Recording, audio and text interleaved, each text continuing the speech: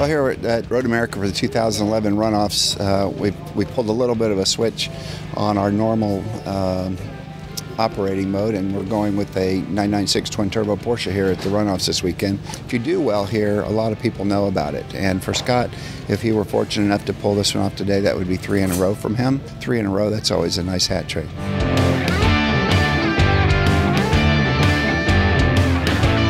Yeah, well, this car is a car that we built for the runoffs and the STO class. Last year we raced in the T1 class and we did well. We won the race. Uh, they kind of kicked us out of that class, said don't come back. So we picked this STO class and uh, it's a pretty trick car, a lot of carbon pieces and things like that. So uh, guys have been working really hard to get it done and we've been testing quite a bit with it. And so here we are race morning. Now it's all, uh, now we'll see how it goes.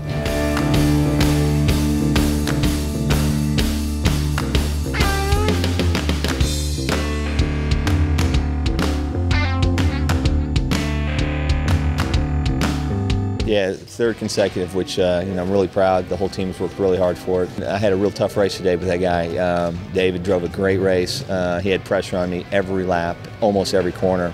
Uh, I could have went either way, but fortunately at the end, you know, we, we prevailed. Earning an SCCA national championship, ask anybody in ALMS, ILMC anywhere. I mean, this is a, this is a tough comp, this is a tough championship to win. So we're real, we're fortunate.